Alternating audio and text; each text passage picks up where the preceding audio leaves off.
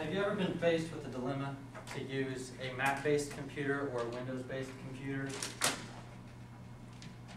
Many people will say to buy a Mac computer because they are easier to use and more reliable than a Windows-based computer.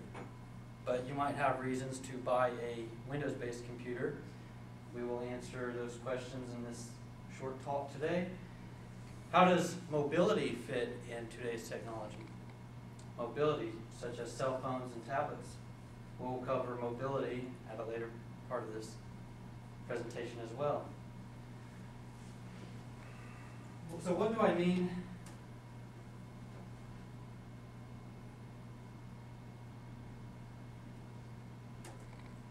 So what do I mean by a Mac? A Mac is just a brand name.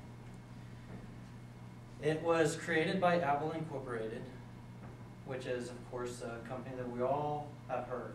Apple is a big brand.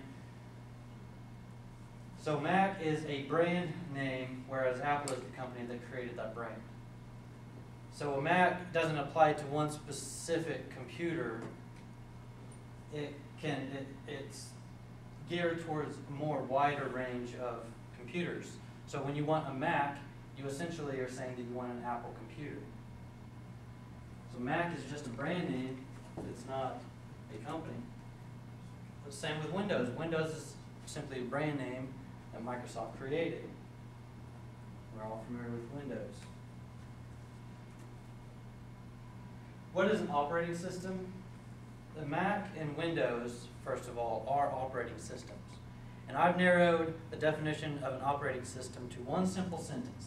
Software that manages hardware and other types of applications on a computer.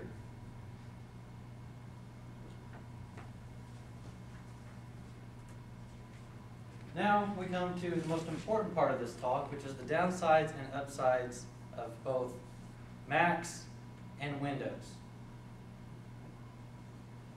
Not one is one is not better than the other, and as I what, what, I'll, what I'm about to do here is compare the two operating systems, both Mac and Windows. What are down, uh, a few downsides of owning a Mac? First is you have less flexibility. So it's- it's more difficult to upgrade their systems because they are proprietary in nature. They create their software geared towards a specific purpose and then offer it out to you. They're not, you can't expand their computers as easily as you can a Windows-based computer. You have less support with a Mac, not Apple support. Apple support is great, by the way, but that's not what I'm talking about. I'm talking about the support in the ways that people use a Mac.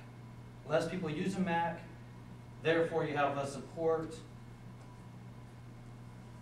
in the open market.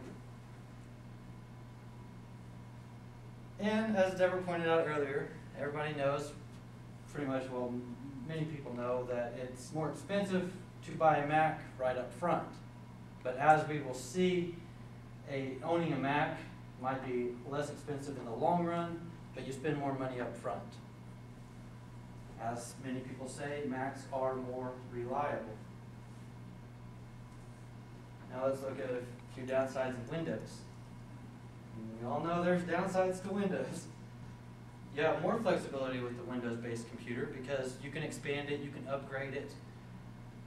More developers and programmers who make software for Windows, there, there are more programmers and softwares being built for Windows. And that could, that could lead to a downside in Windows because it introduce, it could in- introduce more errors and bugs that happen, and a lot of the problems we see with Windows are simply because of software that people are making for it. It is widely used, so people are more likely to create viruses for Windows. People often think that Macs can't get viruses, but the truth is they can and they do. But since they have less support that people use Macs, they, people are less likely to introduce viruses into their systems because hackers want to attack the most popular type of system, which is Windows. So it could be a downside as well. And it breaks easier, of course, because the developers create software for it.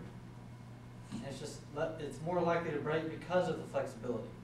So Windows computers, all these problems that people are having, that's the majority of the cases is from the software. And if you have, I won't get into the, the actual physical parts of a computer, which could also introduce uh, a lot of different errors with that as well. Now, we come to the upsides. We're gonna look at the upsides to owning a Mac and uh, uh, the upsides to owning Windows-based computers. One is, of course, Macs are more reliable. I mean, Apple spends billions of dollars, billions of resources on developing their operating system to, to work specifically the way it should work.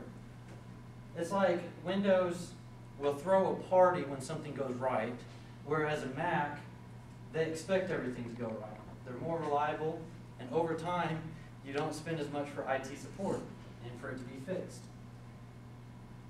And it has less support in the, in the market, so people are less likely to introduce viruses to it. And they're easier to learn, people say, because there's only like maybe one or two buttons. On an iPhone, for example, you have one button, that's the home button. I don't like that as a technical user, but many people do buy Macs because they're simple. Few of the upsides to Windows is, of course, you have more support in the market, so you have a bigger range of, of people, skill sets who can work on the Windows computers, and more software being created for them. And like in businesses, for example, more businesses tend to use a Windows-based computer instead of Mac. Here are some of the reasons why. They are, they have developer flexibility where you can, developers create software for it, and they're also less, less expensive than Macs. Now we come to the mobility section. There's not much to mobility except I just thought I'd show you a few devices out there. The iPad, the tablet, the cell phones, the netbook. Can, can, name, name one that's not on here. Do you see one that's not on here? Maybe that's outdated? How about a, a pager? Desktop. desktop, double desktop. There, I, I, put phone on here, but a, uh, car phones used to be popular, I guess, among the rich. From what I hear. Before cell phones, of course, they had car phones, and that's part of mobility as well. Any questions? Yes, Mr. Helscel, which one do you use? On the mobility part of it, Mac or, I use Windows. I haven't been able to justify owning a Mac because they are expensive, more expensive. So, but I use Windows for all of my activities. Thank you, and that concludes my presentation, Mr. Toastmaster.